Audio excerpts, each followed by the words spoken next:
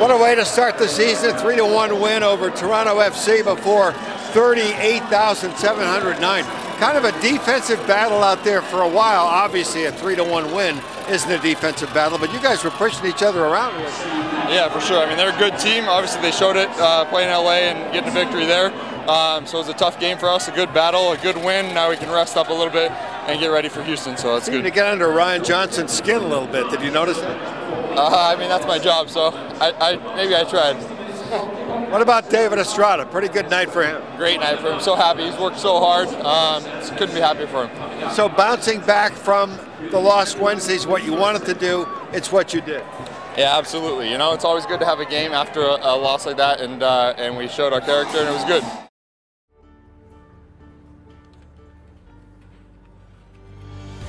Give your full 90 with the Sounders FC mobile app featuring live audio, matchday blog and much more to keep you connected. Download your app at soundersfc.com/mobile.